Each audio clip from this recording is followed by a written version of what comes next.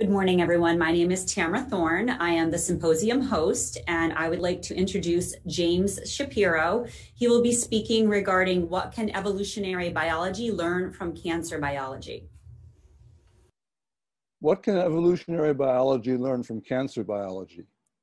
Usually we put the question the other way around, that evolutionary biology is teaching cancer biology. But at this symposium, we're looking at cancer progression as an active biological process. It's a form of somatic evolution that's gone awry in the cells of our body. And it has two main lessons for evolutionary biology. First, there are distinct classes of multi-site chromosome reorganizations that can happen rapidly in our genomes. And second, those reorganizations result from dedicated biological capabilities present in all eukaryotic cells, and therefore potential sources of evolutionary change.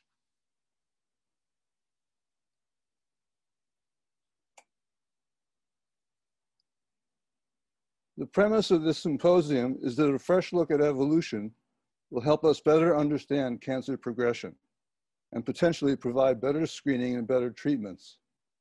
Ignoring the evolutionary perspective can lead us astray as was stated by Erenpreisa and Cragg in 2013 in their paper on cancer cell immortality. The failure of current cancer treatments to successfully eradicate metastatic disease likely results from a misunderstanding of the natural history of cancer. Rather than seeing malignancy as a consequence of Darwinian microevolution driven by stochastic mutations, it can be considered as the result of a programmed response illicitly accessed by a few key mutations. This program appears to have been imprinted through evolution to cope with DNA damage and stored in the evolutionary memory of the genome.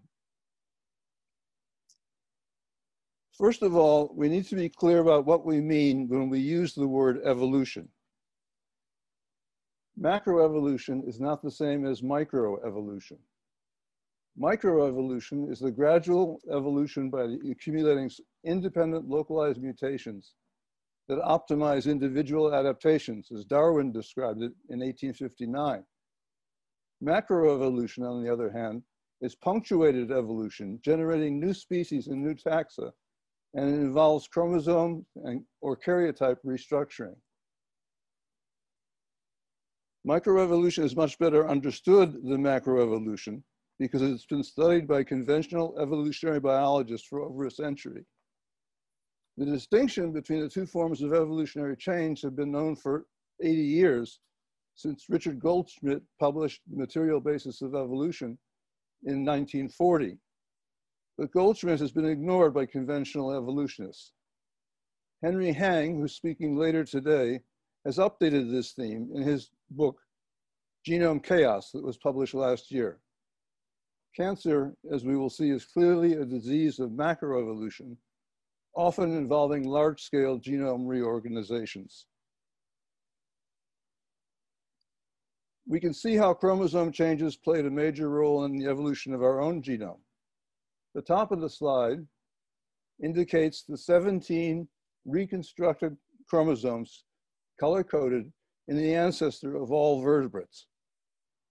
At the bottom of the slide there are the 24 chromosomes in our own genomes, uh, 22 autosomes arranged in order of size from number one to number 22, and then the two sex chromosomes, the X and the Y.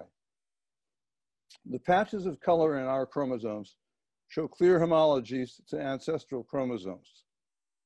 In between these two sets of chromosomes, there were two whole genome duplications. We know this because there are four copies of the HOX, major histocompatibility, and FOX complexes in our genomes. Here's one copy of major histocompatibility, one of HOX, one of the FOX, another major histocompatibility, another HOX complex, and so forth. There are four copies of each of these complexes in our genome and in the genomes of other vertebrates. In our evolution, there were many chromosome fusions that reduced chromosome numbers from 68 to 23 and multiple interchromosomal exchanges that produced the color mixtures you see in our chromosomes.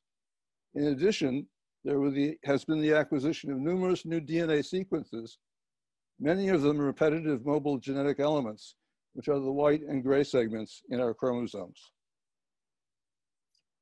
Another way to see the role of chromosome structural changes in evolution is to compare human chromosomes with homologous or syntenic, which means on the same thread, regions in the chromosomes of other mammals and a chicken as a, a, bird example, as shown here. This is, on the left is human chromosome one, our largest chromosome, divided into uh, about 50 segments that are rearranged to different genomic locations on various distinct chromosomes in other species. So for example, if we look at this first region of human chromosome one, in the rat and the mouse, it's all in, in one piece on a, a particular chromosome, five in the rat and four in the mouse.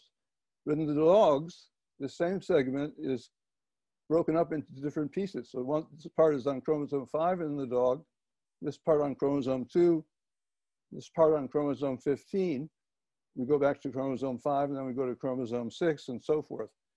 So you can see that the uh, chromosomes have been very, very much rearranged in, in uh, mammalian evolution, and especially with respect to birds, which also lack part of the, the uh, DNA sequences that are present in chromosome one. Cytogeneticists have known for over a century that genome rearrangements are common in cancer cells. DNA sequencing has focused attention more sharply on the basic processes of genome change in cancer. In 2011, Stephens et al. published early results of whole cancer genome sequencing. Many cancers consisted of clones of cells with multiple shared chromosome modifications suggesting they occurred, as the title of their paper says, in a single catastrophic event. This shot, slide shows Circos plots of four human cancer genomes. And in a Circos plot, the human chromosomes are arranged around the circle. So here's chromosome one, chromosome two, chromosome three, chromosome four, and so forth until we get to chromosome 22, and then the X and the Y chromosome. The chromosome rearrangements are indicated by the colored lines. So the orange ones indicate mostly inter interchromosomal exchanges. But the dark blue lines present in all four genomes indicate intrachromosomal rearrangements. Uh, for example, in this colorectal cancer uh, image, 239 rearrangements of chromosome 15, only chromosome 15, are present in this region here. Uh, in this thyroid cancer genome, there are 77 rearrangements on the short arm of chromosome 9. And in this cancer, lung cancer cell line, there are 85 copy number variations on chromosome 8. So these rearrangements, uh, uh, all four uh, cancer genomes, indicate clustered exchanges on individual chromosomes. This characteristic pattern of individual chromosome fragmentation and reassembly is known as chromothripsis, which literally, literally means chromosome shattering.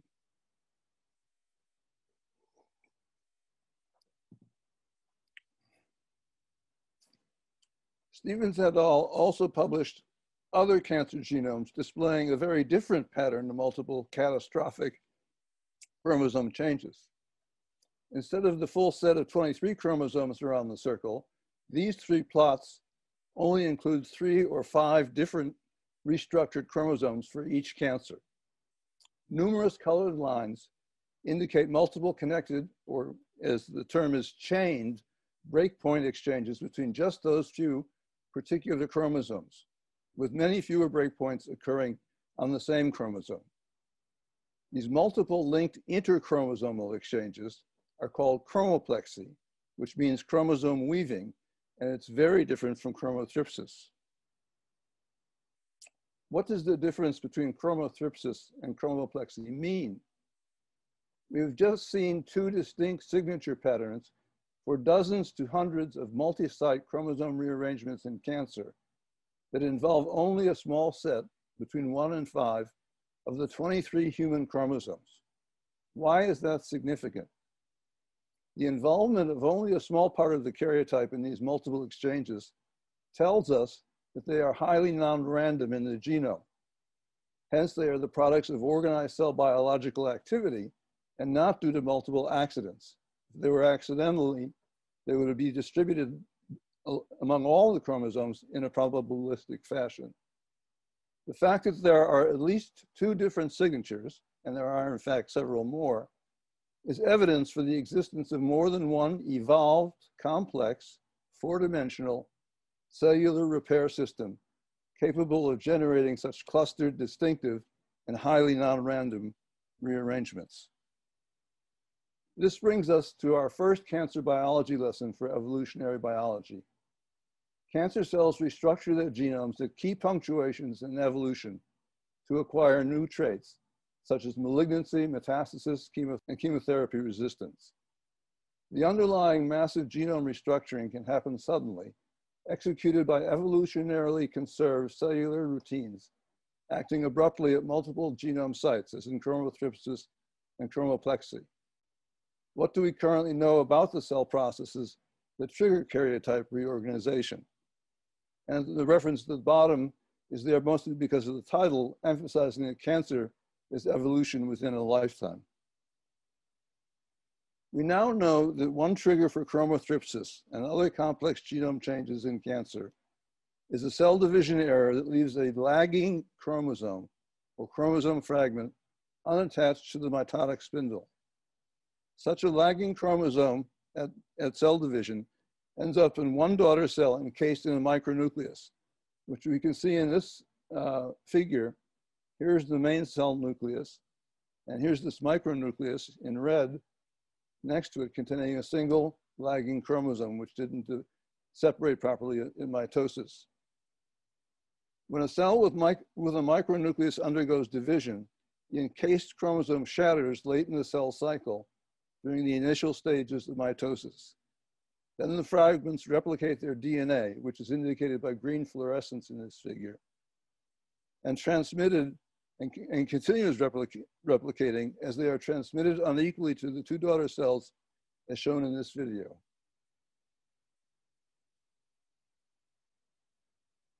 Post-division, the partially replicated fragments can be joined into chromothripsis products. And since they've been replicated, there are multiple copies of certain segments and there will be copy number variations. The fact that micronuclei are also found in plants associated with DNA damage repair and with micro, uh, chromothripsis means that this micronuclei have a deep history in, in eukaryotic evolution and the processes of genome change. Chromothripsis, the chromothripsis video showed that fragmentation and replication of micronuclear chromosomes occurs late in the cell cycle during mitotic division. That's not indicated really very well in this figure, but this is supposed to indicate chromothripsis on top. Chromoplexy, in contrast, occurs during interphase at an earlier stage of the cell cycle. Chromoplexy involves multiple exchanges between a small subset of chromosomes without replication or copy number variations.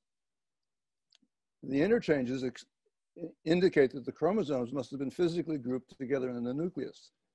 And this kind of chromosome clustering occurs in transcription factories earlier in the cell cycle during interphase genome expression. We are confident in assigning chromoplexy to interphase because there are connections between the sites of interchromosomal exchange and known chromosome associations during transcription during interphase. A completely different source of complex chromosome changes involves the formation of non-mitotic polyploid giant cancer cells after cell fusions or stress, such as chemotherapy. The top row shows normal cell division in a cancer cell, as we're accustomed to seeing with uh, uh, separation of the chromosomes uh, at, at, at, uh, in, in mitosis division and, and segregation, equal segregation into the two daughter cells. So that's a normal mitosis. The bottom two rows show nuclear growth due to genome endoreplication in a non-dividing polyploid giant cancer cell that finally splits apart in a multipolar fashion to generate smaller cells. Many of these progeny cells are not viable, but some can have pseudodiploid rearranged genomes and may form a new, more aggressive tumor. This figure, by the way, comes, these figures, by the way, come from the laboratory of Jinsong Liu, who was talking on Friday in this symposium. Let's follow the history of that polyploid giant cancer cell in this video, with nuclear growth followed by a multipolar cell division, which can lead to massive chromosome rearrangements. The green fluorescence labels the microtubules, and the red fluorescence labels the histones, which is where the surrounding the, the genomic DNA. So here's the polyploid giant cell. This, the DNA in the nucleus is undergoing what's called endoreplication. And uh, now the cell is beginning to compress and it will suddenly divide. And you can see that unlike normal mitosis, this is a multipolar division producing cells which have different numbers of different numbers of chromosomes, and those chromosomes can be multiply rearranged. Polyploidy and endoreplication are an ancient eukaryotic cell response. Stresses that lead to polyploid cell formation include telomere damage in the first reference, uh, which often leads to chromosome fusions, chromosome bridges, and chromosome breakage in mitosis. Senescence or cell aging, as in the Erenpreisa and Cragg paper from 2013. Uh, radiation, which breaks uh, chromosomes. And very interestingly, wounding of the tissue, physical wounding of the tissue. And this is a paper about Drosophila, but it points out that the same process goes on in mammals. There's conservation of the signaling networks. And as we'll see shortly, uh, mammalian cells have polyploid responses to, to damage as well.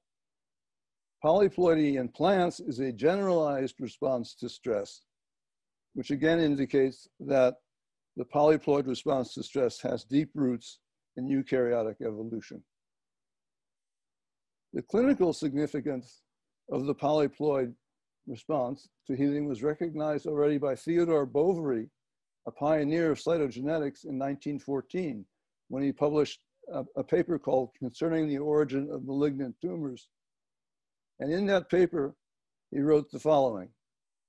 One would therefore have to assume that the generation of a malignant tumor as a result of injury takes place in two stages that may be separated from each other by a lengthy interval.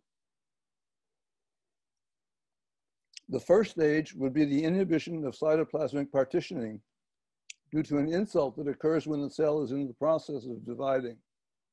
This produces the tetraploidy. The second step, however, would be a stimulus that induces the tetraploid cell to divide by multiple multipolar mitosis, as we just saw.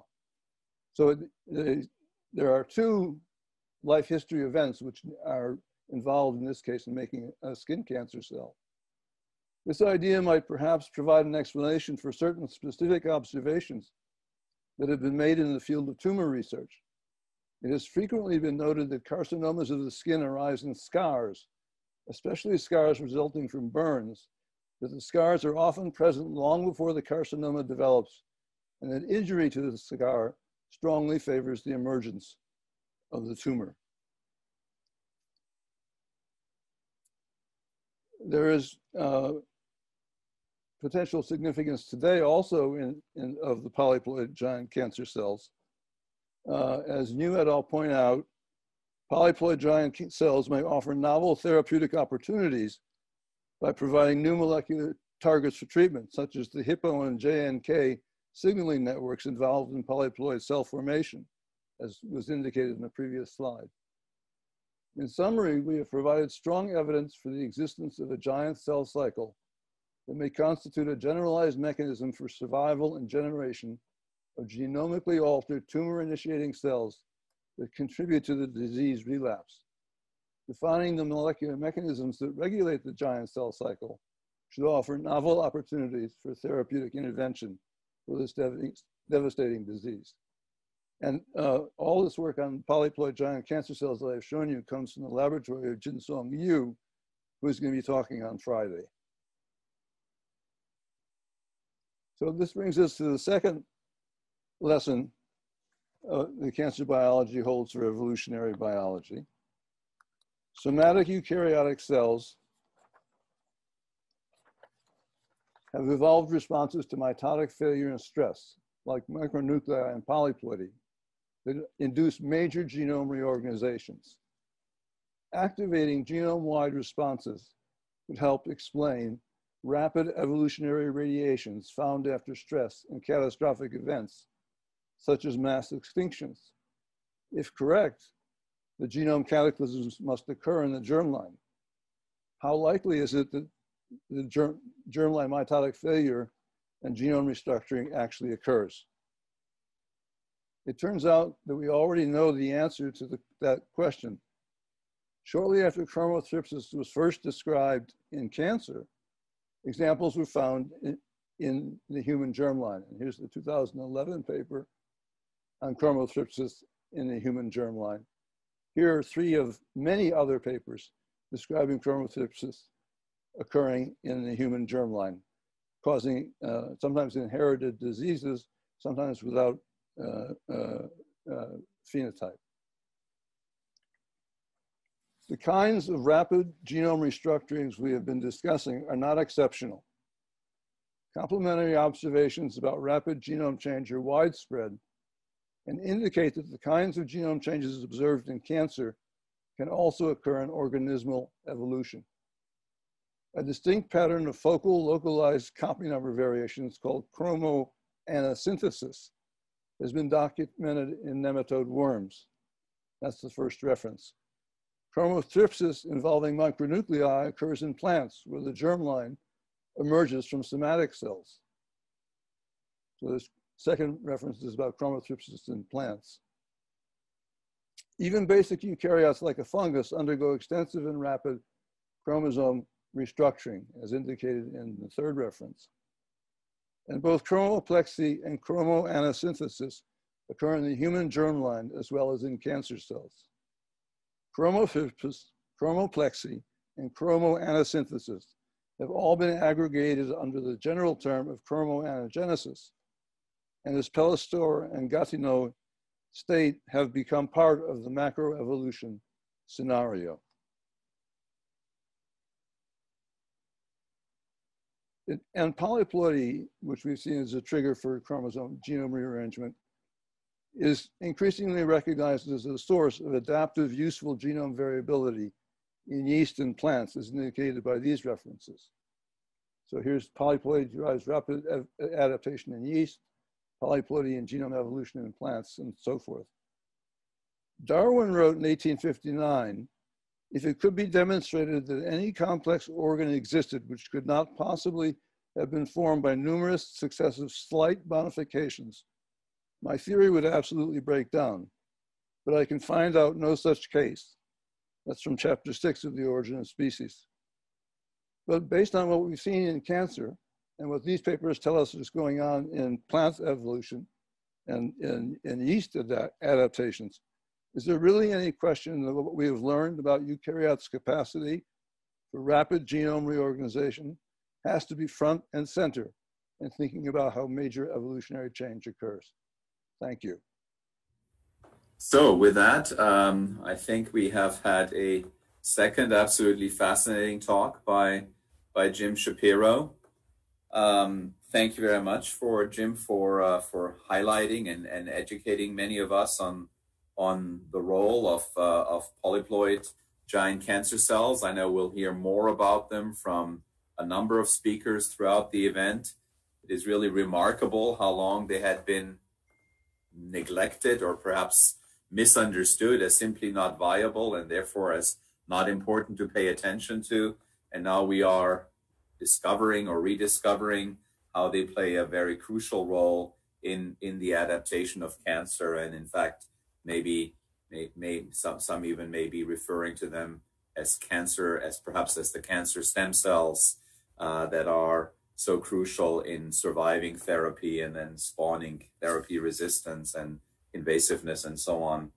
Um, we have a couple of minutes. Uh, most of the questions from the chat were really just, so to speak, great support for the talks by Azra and by by Jim. Um, and um, again, if you have questions, feel free to put them into the chat room. We'll try to give them to the speakers. Um, with the strong support that has come in so far, but no specific questions, I'll ask a question, Jim. Uh, can you maybe give a couple of other examples from your book or from your recent reviews on, on what I would call traditional biological organismal evolution of unicellular or multicellular organisms, if you like, rather than in the cancer field specifically, um, of your natural genetic engineering or NGE, of which you've cited so many uh, empirical and, and, and well proven uh, examples, both from experiments and from the DNA record of evolution, perhaps cite a few examples. Right. Well, as, as I've been studying cancer cells and their ability to change their genomes, am I coming through? Yes, very good. Um, I've been amazed at learning uh, all of the ways that, that cells both can make these large scale rearrangements, but also generate totally new uh, DNA sequences and to totally new DNA structures.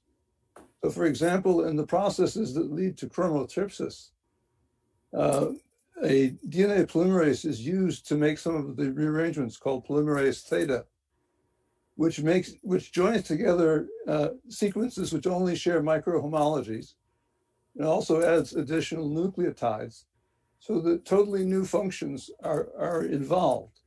And if that goes on in cancer, it's hard to imagine that it, it's, it's something very new in, in the human genome or in mammals, but that it's uh, likely to be a very basic process in evolution.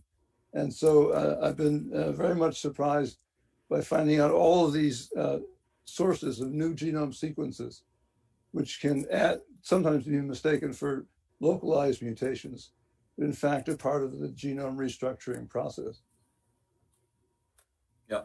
Yeah, it is absolutely fascinating how, of course, the study of organismal evolution, if you like, has played a significant role in helping understand cancer as an evolutionary phenomenon. But it is even it is equally remarkable how the understanding of cancer evolution is now informing and giving new hints and, and new examples to how historical billions of years of biological organismal evolution has worked. And it is reinforcing uh, many of the concepts that you and, and, and many others have uh, have uh, have explained and, and, and have pointed out, where indeed uh, punctuated evolution at the at the gene genome level is occurring.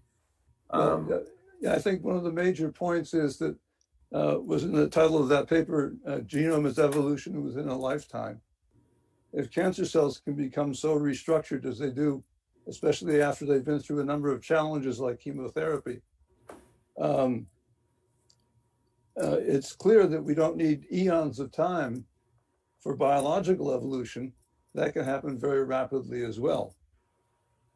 As we've seen in the Cambrian, and of course, as we now, I think it's a term Ken Pienta has used, and I want to steal his thunder, thunder for his presentation, as we will see that they are cancer Cambrian events. You've described some of them. He uses that terminology, but it does explain or at least provide strong suggestions of how rapid organismal evolution has worked, uh, something that we've observed in both in the fossil and now more and more in the DNA record.